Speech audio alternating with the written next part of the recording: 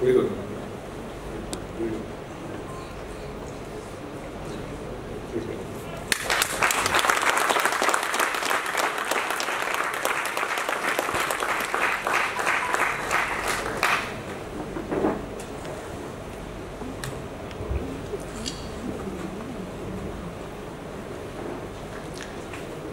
மாகாளியின் வடிவமாக பராசக்தியின் வடிவமாக மகா சரஸ்வதியின் வடிவமாக இருந்து என்னை ஈன்று இன்னமுதூட்டி இமய முதல் ஈழம் வரை பறந்து விரிந்து கிடக்கின்ற என்னுயிர் தாய்நாடாம் பாரத மணி திருநாட்டுக்கு என்னுடைய முதல் வணக்கத்தை காணிக்காட்டுகிறேன்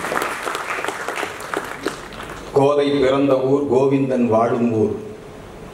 எங்கள் தமிழ்த்தாய் ஆண்டாள் அவதரித்த அந்த மண்ணிலே பிறந்து அறம் சார்ந்த நெறி பெறலாத ஒரு அற்புதமான ஊடகவியலாளராக இன்றைக்கு உயர்ந்து நின்று கொண்டிருக்கின்ற திரு ரங்கராஜ் பாண்டே அவர்களுக்கு மனமார்ந்த வாழ்த்துக்கள்.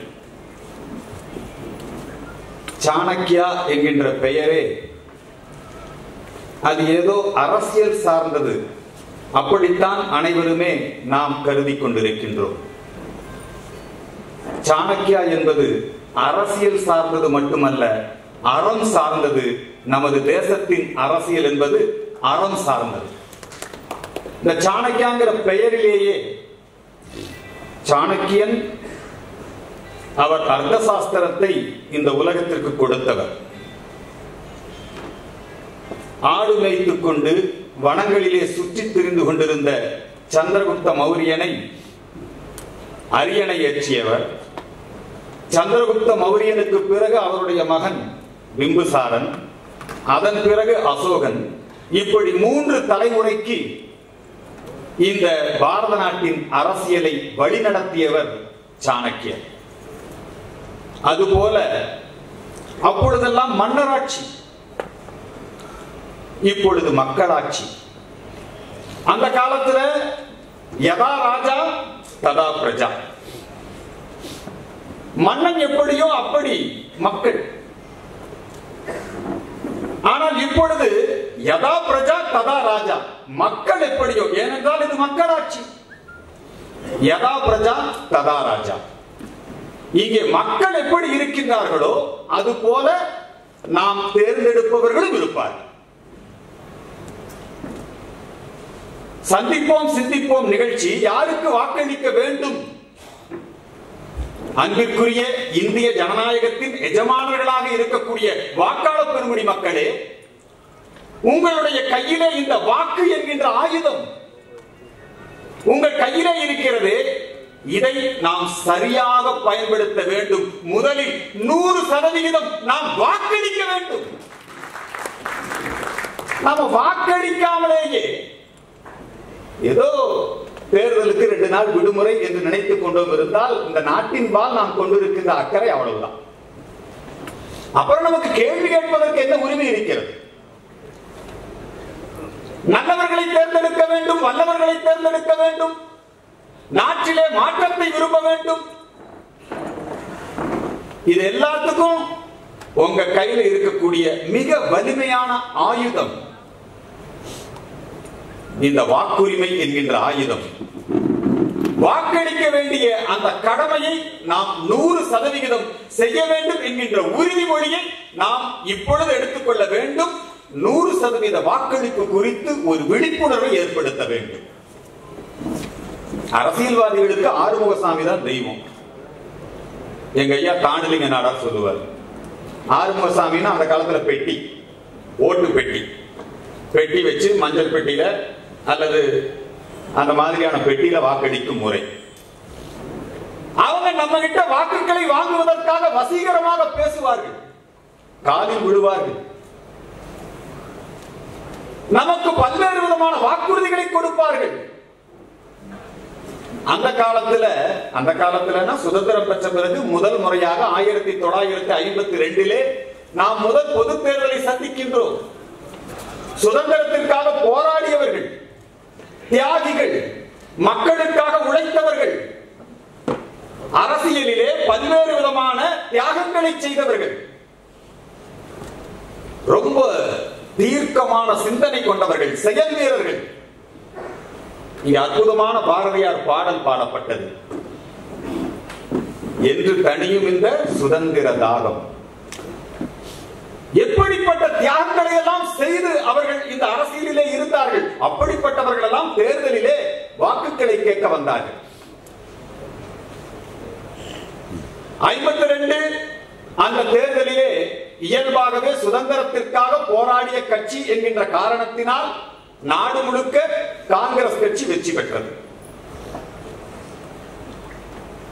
ஆனால் இப்பொழுது அப்படி இல்லை. இப்பெல்லாம் வந்து பாத்தீங்கன்னா ஆயிரத்தி தொள்ளாயிரத்தி அறுபத்தி ஏழுக்கு பிறகு ஜனங்களை வசீகரிப்பது எப்படி? என்ன வாக்குறுதி கொடுக்கணும்? வாக்குகளை அறுவடை செய்வது எப்படி?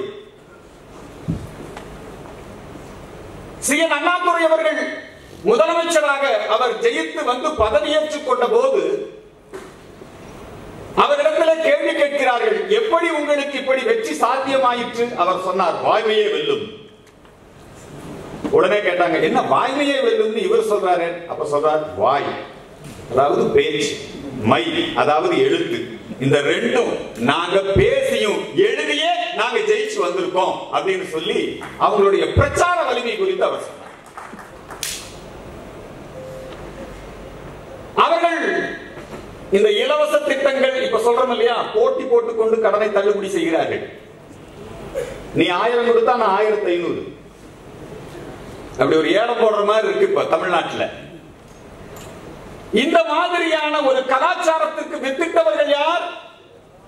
ரூபாய்க்கு மூணு படி அரிசி போடுவேன் மூணு படி அரிசி போடவில்லை என்று சொன்னால் என்னை முச்சந்தியிலே நிறுத்தி சவுக்கால் அடியுங்கள். வெட்டி இடத்திலே வைரம் வரும் தட்டி இடத்திலே தங்கம் வரும். நம்முடைய ஆட்சி வந்துருச்சுன்னா பாலாறும் பேனாரும் ஓடும். இப்படி எல்லாம் அவங்க அற்புதமான அதாவது அதுவும் இந்த தேர்தல் வாக்குறுதி தயாரிக்கிறதுலே அண்ணாதுரை அவர்கள் குறிப்பிட்ட அந்த படியரிசி திட்டம். அப்படி ஒரு திட்டத்தை அறிவிச்ச உடனே ஈவேரா கேள்வி கேட்டார். இது சாத்தியமா? இதுக்கு வாய்ப்பு இல்ல. பொருளாதாரத்தில் இடம் இல்ல. இதுக்கு இவ்வளவு நிதி தேவைப்படும். ஆனாலும் அண்ணாதுரை அவர்கள் மூணு படி இல்ல. மூணு படி லட்சியம் ஒரு படி நிச்சயம்னாரு. அதுக்கப்புறம் அந்த ஒருபடி அரிசியும் கோயம்புத்தூர் மாதிரி ஒன்னு ரெண்டு இடங்கள்ல போட்டு முடிச்சுக்கிட்டாரு. அதுக்கப்புறம் உங்களுக்கு தெரியும் பல்வேறு விதமான வாக்குறுதிகள். மக்கள் இலவசங்களுக்கும் கவர்ச்சிகரமான வாக்குறுதிகளுக்கும் வாக்களிக்க வேண்டுமா? நம்முடைய பாண்டே அவர்கள் சொன்ன மாதிரி நாம வாக்களிக்கணும். ஜெயிக்கிற கட்சிக்கு வாக்களிக்கணும் அப்படின்னு சொல்லி முடிவு பண்ணிட்டா இந்த ஜெயிக்கிற கட்சி மாதிரியான ஒரு தோற்றத்தை மாநாடுகள் நடத்தி கூட்டத்தை சேர்த்தி அந்த தோற்றத்தை உண்டு பண்ணிடுவாங்க. மீடியாக்கள் மூலமா அவங்களே கருத்து கணிப்பு அவங்களே எல்லாம் டைம்ஸ் நவர்லாம் ஆக்சுவலா அறிவிச்சுட்டான் வந்துருச்சு திமுக. லயோலா காலேஜ் எல்லாம் இதே தான் பண்ணிட்டு இருக்காங்க. திமுக வந்துரும். அது மாயை உருவாயிட்டாரு. ஸ்டாலின் தான் வராரு. வந்துட்டே இருக்கும். நம்ம ஆளுங்களே முணுமுணுக்க ஆரம்பிச்சிட்டான் அந்த பாட்டை. ஸ்டாலின் தான் வராரு. ஆக இந்த பிரச்சார பலம் ஊடக பலம் மக்களை வந்து அப்படியே ரெடி பண்ணிடுவாங்க அவங்க. ஆனா நாமளும் என்ன நினைக்கிறோம்னா கூட்டம் கூடுது. இவங்க தான் ஜெயிப்பாங்க போல் இருக்கு. ஜெயிக்கிற கட்சிக்கு போட்டுருவோம். இப்படி நினைச்சா அது சரியா? நமக்குள்ளே ஒரு அறச்சீற்றம் வர வேண்டாமா? நமக்குள்ளே அந்த கடமை உணர்வு அந்த தேசபக்தி தெரிக்க வேண்டாமா? சிறுமை கண்டு பொங்க வேண்டாமா? ரௌத்ரம் பழக வேண்டாமா? பாரதியாருடைய அந்த பாடல்களையும் விவேகானந்தருடைய வழியையும் பின்பற்றக்கூடிய பாண்டே அவர்கள் அவருடைய அந்த கேள்விக்கு பதில் சொல்லுகிற பொழுது எப்படிப்பட்ட தேசபக்தியும் தெய்வ பக்தியும் அவருடைய அந்த பதிலே எப்படி நம்ம பார்த்தோம்? மக்களுக்கு முதலிலே விழிப்புணர்வை ஏற்படுத்த வேண்டும். ஜெயிக்கிறவனுக்கு ஓட்டு போடுவோம். அந்த மனப்பான்மையை மாற்ற வேண்டும். நாம் யாரை விரும்புகிறோமோ அவரை ஜெயிக்க வைக்க வேண்டும் என்கின்ற எண்ணத்தை ஏற்படுத்த வேண்டும். இன்றைக்கு இந்த அகிலமே வியந்து பார்த்துக் கொண்டிருக்கிறது. எல்லோரும் அவர்களை எய்து எய்தும் மேன்மையை இந்தியா உலகிற்கடிக்கும் ஆம் இந்தியா உலகிற்கடிக்கும் ஆமாம் இந்தியா உலகிற்கடிக்கும் என்று பாரதியார் சொன்னார். இன்றைக்கு எல்லோரும் அமரநிலை எய்தும் மேன்மை கொரோனா தடுப்பூசி மருந்து இந்த உலகத்திற்கே கொடுத்துக் கொண்டிருக்கிறோம். வையத் தலைமைகள் என்கின்ற நம்ம சொல்றோம் இல்லையா? இன்னைக்கு வைய தலைமை நம்முடைய தலைவர் நரேந்திர மோடியினிடத்தில் இருக்கிறது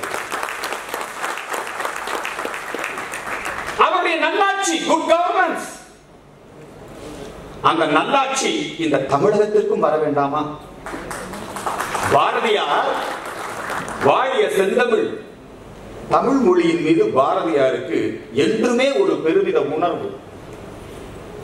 வாழிய செந்தமிழ் வாழ்கன தமிழர். தமிழர் மீது. பாரதியாருக்கு அந்த தமிழன் தமிழன். வாழிய செந்தமிழ் வாழ்கன தமிழர். வாழிய பாரத மணித்திருநாடு. நம்முடைய இந்த தமிழகத்திலும் டெல்லீஸ்வரோவா ஜெகதீஸ்வரா என்று சொல்லுவார்கள். இன்றைக்கு எவன் ஒருவன் டெல்லியை ஆளுகின்றானோ அவன் இந்த அகிலத்தை ஆளுகின்றான். என்னுடைய மோடி இன்றைக்கு இந்த அகிலத்தை ஆண்டு கொண்டிருக்கிறார் ஆனால் இந்த செயின்ட் கோட்டை வள்ளுவன் கோட்டையாக மாறி இங்கே மோடியுடைய ஆட்சி வர வேண்டும். ஆனா இங்க என்ன நடந்துட்டு மோடி கோபேக். நம்முடைய திட்டங்கள் தமிழகத்துல கரண்ட் தயாரிக்க விட மாட்டேங்கிறானுங்க கரண்ட் தயாரிக்கணும் அப்படி சொன்னா அதுக்கு எதிர்ப்பு.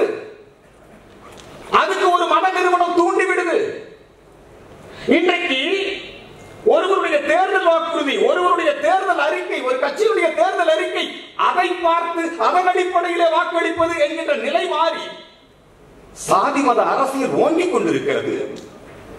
வழிபாட்டு தலங்களிலே பத்தா விதிக்கிறார்கள் நீ இவங்களுக்கு ஓட்டு போடணும். ரொம்ப வருத்தப்படுறேன் நான். நாகூர் தர்கா அறிவிச்சிருக்கு. என்னைக்காவது மதுரை மீனாட்சி அம்மன் கோயில்லையோ நம்முடைய அண்ணாமலையார் திருக்கோயில்லையோ நாம கூட்டம் போட்டு அறிவிச்சிருக்கிறோமா என்ன அநியாயமா இருக்கு? தேர்தல் கமிஷன் நடவடிக்கை எடுக்க வேண்டாமா? இன்றைக்கு நம்முடைய வளர்ச்சி திட்டங்களை ஓட்டு போடுறது யாருக்குன்னு சொல்றது ஒரு பக்கம். நம்முடைய வளர்ச்சி திட்டங்களை முடக்குவது கூட நம்முடைய தொழிற்சாலைகளை மூடுவது கூட நம்முடைய மக்கள் மத்தியில இப்படியான ஒரு மதவாத அடிப்படைவாத சக்திகள் இன்றைக்கு தலையெடுத்துக் கொண்டிருக்கின்றன. அது போக ஜாதி அரசு. சாதி மத அடிப்படையிலே வாக்களிக்க சொல்லி இருக்கிறதா? சாதி பார்த்து மதம் பார்த்து வாக்களிக்க சொல்லி இருக்கிறதா? அப்படிப்பட்ட ஒரு ஜனநாயகம் இந்த நாட்டுக்கு தேவையா? அது உண்மையான ஜனநாயகமாக இருக்குமா? அண்ணன் காந்தியடிகளும் நம்முடைய நேதாஜி சுபாஷ் சந்திர போஸ் அவர்களும் ஐயா பசுமன் முத்துராமலிங்க தேவர் அவர்களும் நம்முடைய வாவு சிதம்பரம் பிள்ளை அவர்களும் ஜாதி மதம் பார்த்தா நம்முடைய மக்களுக்கு அரசியல் போதனை செய்திருக்கிறார்கள். இது எப்பேற்பட்ட ஒரு அபாயம் ஜாதி அரசியல். எல்லா ஜாதிக்காரனும் ஒரு மாநாடு போட்டு நாங்க இவ்வளவு பேர் இருக்கோம். இந்த மாநாடு போடும் போதே சொல்லிடுவான் நாங்க ஆண்ட பரம்பரை. ஆனா என்னன்றுவான்? எங்களை வந்து இப்ப பிசியில் இருக்கோம். எங்களை எம்பிசியில் சேர்த்திருங்க நாங்க எம்பிசியில் இருக்கிறோம். எங்களை எஸ்சியில சேர்த்திருங்க உண்மையிலேயே பாராட்டுறேன். பட்டியலின வெளியேற்றணும் டாக்டர் கிருஷ்ணசாமி ஒரு அற்புதமான முயற்சியை எடுத்திருக்கிறார். யாரும் எளிந்தவர்கள் அல்ல யாரும் இழிவானவர்கள் அல்ல. சாதி மத அடிப்படையிலே நாம் வாக்களிக்க கூடாது. அப்புறம் நீங்க நிறைய பேர் சொல்றாங்க தமிழன் என்ற ஒரு இனம் உண்டு தனியே அதற்கு ஒரு குணம் உண்டு. உண்மைதான். நான் குஜராத்திலே பாரத பிரதமர் நரேந்திர மோடி அவர்கள் பிரச்சாரம் செய்வதை பார்த்திருக்கிறேன். அங்க வந்து அவர் இலவச திட்டங்களை அவர் சொல்லவே இல்லை. ஒரு குஜராத்தி இலவசமாக எதையும் வாங்க மாட்டான். நான் குஜராத்தியர்களுக்கு இலவச மின்சாரம் கொடுப்பேன் என்று சொல்ல மாட்டேன். குஜராத்திகளுக்கு தடையற்ற மின்சாரத்தை கொடுப்பேன் என்று சொன்னால்? தன்மான உணர்வு அந்த குஜராத்திங்கிற பிரைட் மக்களுக்கு உழைக்க வேண்டும் என்கின்ற எண்ணம். என்ன குஜராத்தில் என்ன இலவச திட்டங்கள்னால அவர் ஓட்டு வாங்கினாரா? அல்லது இந்திய அளவில் இலவச திட்டங்கள்னால ஓட்டு வாங்கினாரா? ஏன் தமிழ்நாட்டிலே மட்டும் இப்படி? இது மாற வேண்டாமா? ஆன்மீக அரசியல் வர வேண்டும். இப்ப ஒருத்தர் கேட்டாரு சாணக்கியாவே உங்கள் சந்திரகுப்தன் எங்கேன்னு கேட்டாரு. சந்திரகுப்தன் தெளிவுபடுத்திட்டு போயிட்டாரு. தமிழகத்திலே திராவிடத்திற்கு மாற்று ஆன்மீக அரசியல் தான் என்பதை தெளிவுபடுத்திட்டு போயிட்டாரு. அவர் வேணா அரசியல் கட்சி துவக்குவது அவருடைய அரசியல் நடவடிக்கை இதுல இருந்து பின்வாங்கி இருக்கலாம். ஆனால் அவருடைய அரசியல் அதிலிருந்து அவர் பின்வாங்கவில்லை. ஆன்மீக அரசியல் யார் நடத்துகிறார்களோ அவர்கள் இங்கே ஜெயிக்க வேண்டும். அப்படி பார்த்தா திமுகவா அதிமுகவா? திமுக அதிமுக ரெண்டும் தங்களை திராவிட கட்சிகள் என்பதிலே பெருமிதம் கொள்கின்றன. அதிலே அனைத்து இந்திய அண்ணா திராவிட முன்னேற்ற கழகம் பாரதிய ஜனதா கட்சியோடு கூட்டணி அமைத்திருக்கிறது. மாற்றத்துக்கான அரசியல் என்று முன்னெடுக்கின்றவர்கள் திரு கமலஹாசன் அவர்கள் சீமான் அவர்கள் ஒருவேளை நாளைக்கு கேப்டன் விஜயகாந்த் அவர்கள் இவர்கள் எல்லாம் வந்து மாற்றத்திற்கான அரசியல் திராவிட இயக்கத்திற்கான மாற்று இதெல்லாம் வந்து தொடர்ந்து ஒவ்வொரு தேர்தலையும் வந்துகிட்டே இருக்கு. பெருந்தலைவர் காமராஜர் ஆட்சியை கொண்டு வருவோம்னு சொல்லிக்கிட்டே இருக்காங்க. மாற்றத்திற்கான அரசியல் எப்போ வரும்? இதற்கான நிரந்தர தீர்வு எங்கே இருக்கிறது? இன்றைக்கு லஞ்ச ஊழல் குற்றச்சாட்டுக்கு எந்த விதமான கடந்த ஆறு ஏழு வருடங்களாக மோடி அவர்கள் இன்றைக்கு வந்து பதவியிலே இருக்கின்றார். யாராவது மத்தியிலே இருக்கக்கூடிய அந்த ஆட்சி அல்லது அந்த மந்திரி சபை அவர்களை பார்த்து குற்றம் சாட்ட முடியுமா? லஞ்ச ஊழல் குற்றச்சாட்டு சொல்ல முடியுமா? லஞ்ச ஊழலுக்கு நெருப்பாக இருக்கக்கூடிய வளர்ச்சி திட்டங்களுக்கு வழிவகுத்து இருக்கக்கூடிய ஏழை எளிய மக்களின் கண்ணீரை துடைக்கக்கூடிய பெண்களுக்கு அதிகாரம் கொடுக்கக்கூடிய அந்த இடத்துல இன்னைக்கு அவர் இருக்காரு. அவருடைய ஆட்சி இப்படி இந்த கூட்டணி மூலமா தான் வர முடியும். இந்த கூட்டணி மூலமா தான் வர முடியும். இங்க இருக்கிற கூட்டணிக்கு அதிமுக தலைமை தான் இருக்குது அவங்க இருபது இடம் தான் கொடுத்துருக்காங்க.